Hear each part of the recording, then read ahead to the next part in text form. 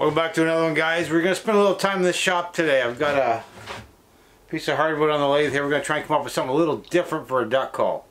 Not sure, we're quite sure what I'm going to end up with, but let's take some wood off and find out.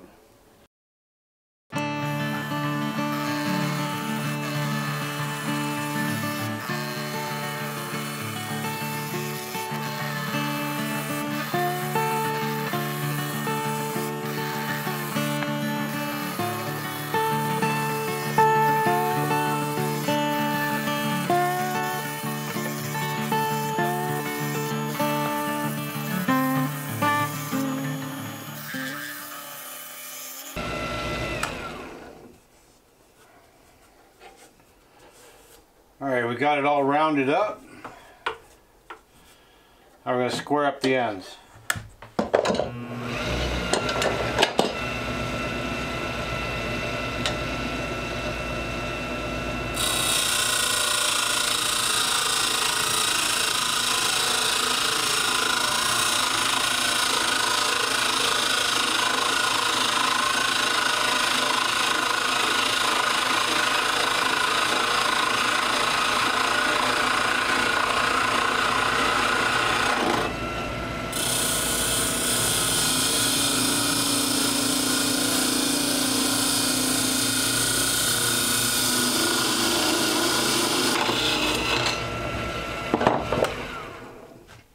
Alright, we got it round and we got the ends trued up.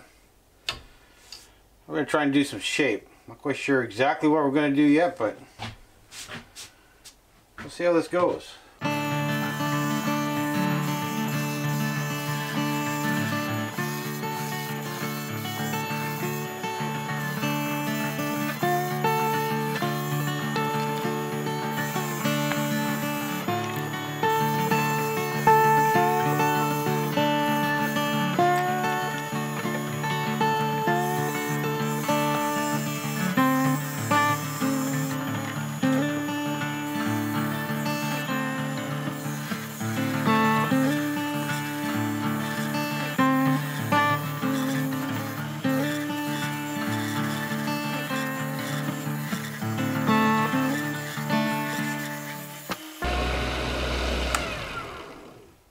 What I'm trying to do is I'm, I'm just winging the shape. I'm trying to come up with something a little different. As I'm moving the tool, normally I like to move my whole body with the tool. But I'm trying to keep it in a certain spot. So you see I'm hooking the back of the rest. I got my thumb on top and I'm using my thumb to work the tool back and forth. My other hand is just steadying the tool, keeping it level. My thumb is what's moving it back and forth. That way I can get a little more precise with what I want to do with it.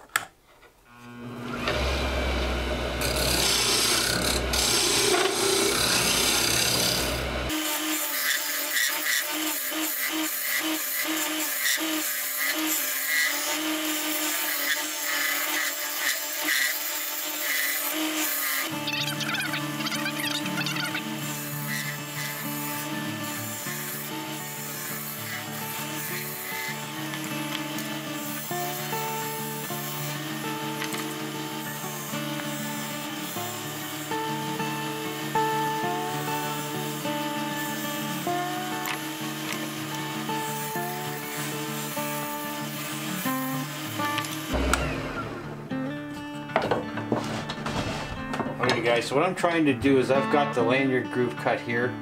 I've got a bit of a slope, so it's lower here and curves upward here. What I want to try and do is I want to try and keep on this hump right here, I want to try and keep it so that it flows. So it goes down, up, as it meets down on here, I want this edge to flow nicely with the next edge. So you have a gap, but they still meet up. Theoretically.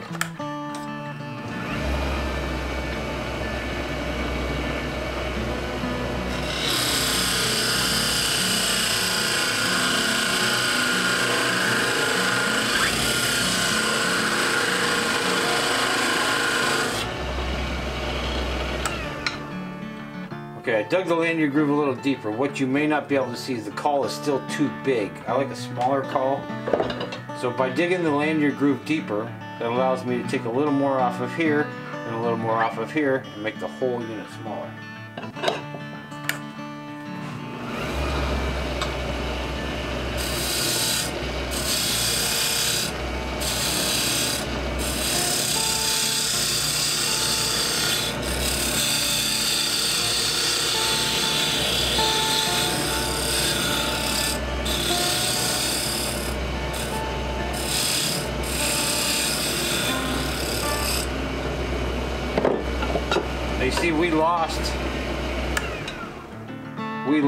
Downward slope here because by making by making it smaller I got rid of that I got rid of the rise so now we're gonna put that back in there.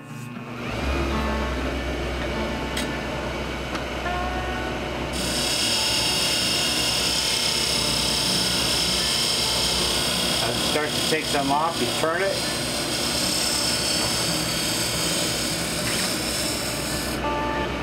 and it puts the round back on it. Now I just got to put a little bit more on it so when it comes back up, it'll come back down and meet up with the other one. I may end up bringing this one down a little bit too, and we'll see how that goes.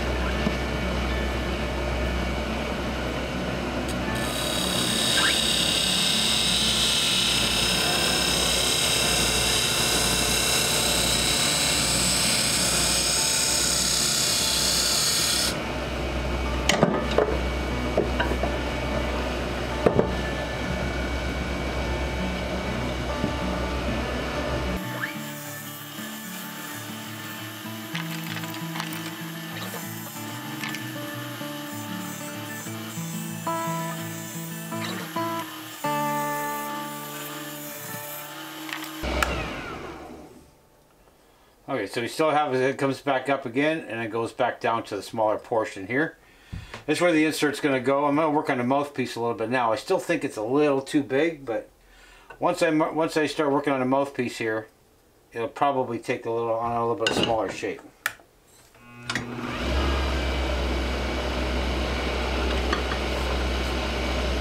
First thing I'm going to do is I'm going to round it over. You want to make it comfortable in your mouth, right? So you want to round this over, no sharp edges.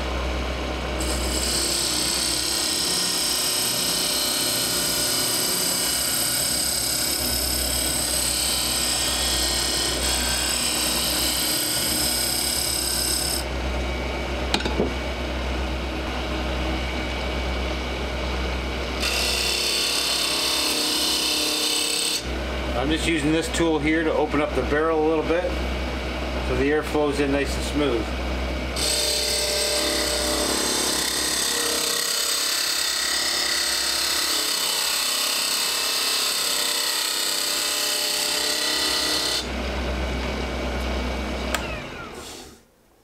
Alright, that's not too bad. So, so I can get a little deeper into there, what I'll do is I'll loosen this up in a minute. I'll move it down because the mandrel's in the way. But I'd still like to put a little more of an arc in here from here down and a little thinner in the middle.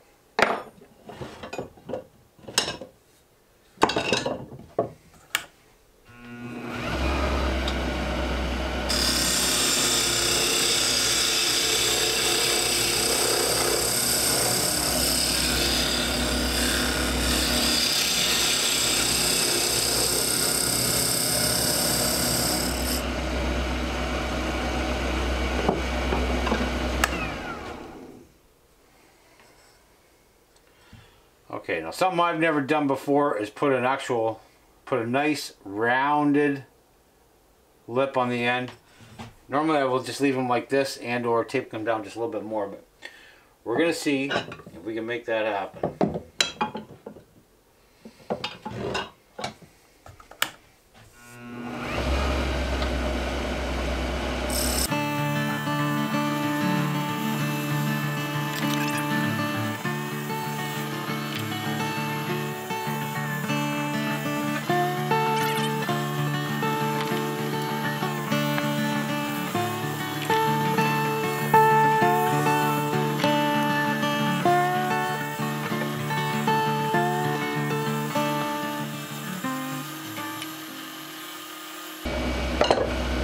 camera's probably not picking up what's coming off of there, but I can see what's coming off. I'm trying to keep it so that I can keep the lip on the end.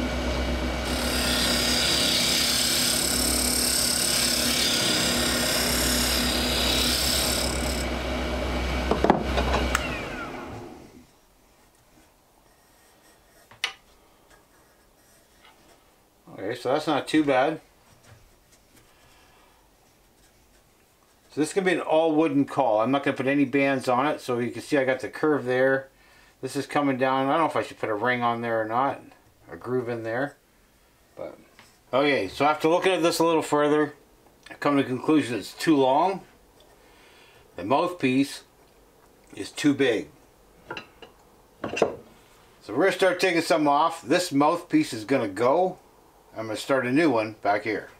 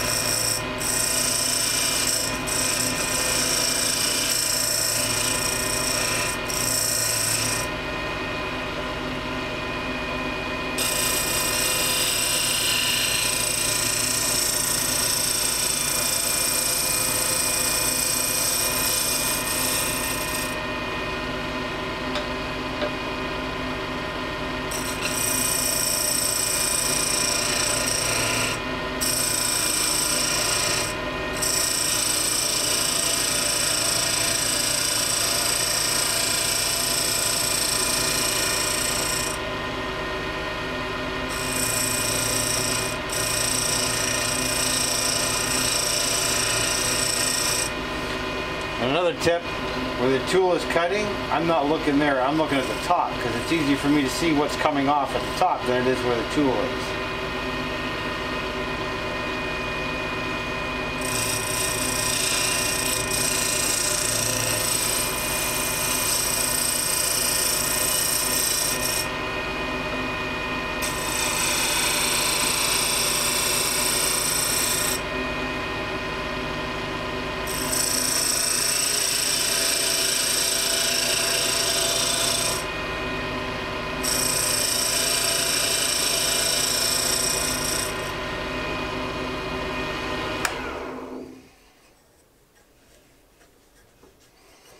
Okay, so that's not too bad. So what I might do is now that I'm doing it, like I say, I like to do things on the fly. So what I've got, and you can't see it here, it'll be better when I take the camera off the tripod. Come up here, I've got a line. I can see the line here, and it goes up to the mouth. So what I'm going to do is I'm going to step that down a little bit. So now we'll have an arc come up, and it'll come up a little bit more.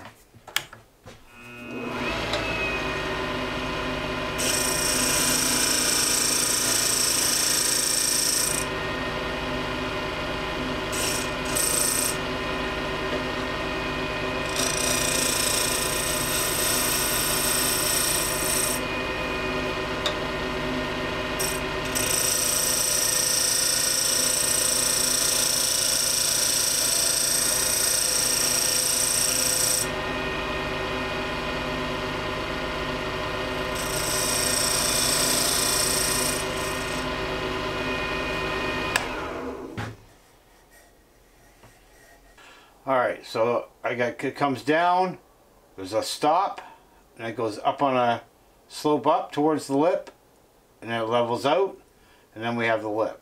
So I'm going to take a little bit more out of here, just to give it a little more of an arc.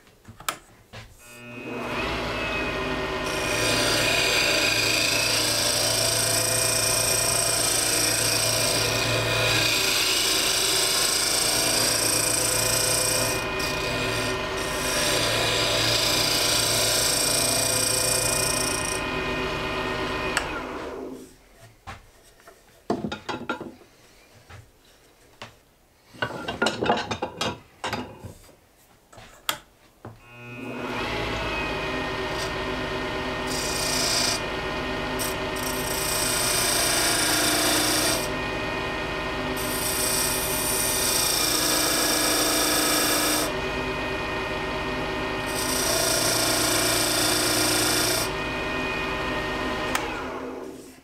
I got that the way I want it. I'm going to go back to the mouthpiece because I got to fix it because remember I shortened it up.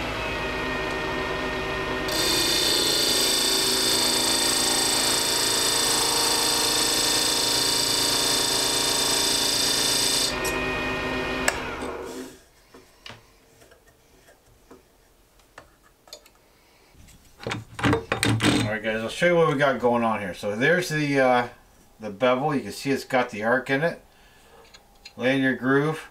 Now what I wanted to do was get this pitch down here to meet up with this here. So it looks like it's just one continuous piece. So it's pretty darn close.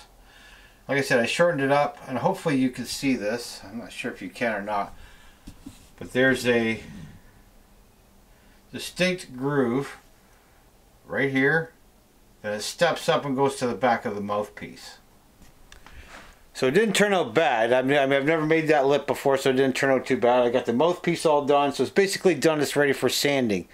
Uh, this wood's not as hard as I thought it was, so basically I can manipulate a little bit more with the sandpaper. So now I'm going to hit it with some 120, 400. I think I'll go to about 900, that's probably it. Not sure I'm going to stain it or oil it, but there's not a whole lot of character in this wood, so I might have to stain it, but that's basically it. You can always take a propane torch, put it on there and turn it slowly as you go. Try not to burn the whole thing, but what you're trying to do is get a burn on what character there is. So therefore it'll stand out a little bit more. And then when you put your finish on it, it'll come through. Alright, so there you have it. In true fashion, I didn't bring an insert with me, so I can't show you what the whole thing looks like. But just in a matter of a few minutes, take your time, give it a try. Try different things. I've never made this design before. You just keep going. And sometimes when you make a mistake, it turns out to be a good thing. So I kind of like this design. I got some wood here with some nice character to it. I might just try it on there and see what I can get out of it. But there you go. Hop in the shop. It's a $120 lathe from Canadian Tire. The tools are from Harbor Freight. And you make your own duck calls. Anyway, that's all I got for today's video. I hope you all enjoyed it. hope you all got something out of that. Uh, even if it's not duck calls you want to make, you can make bowls, you can make turkey calls. I may do that next time. I'll make you a turkey pot call. How's that? See you on the next one. Oh, hey, remember, subscribe, please. Hit the subscribe button. We need some help. Thank you very much. And as always, don't forget to get outside and enjoy the outdoors. Later.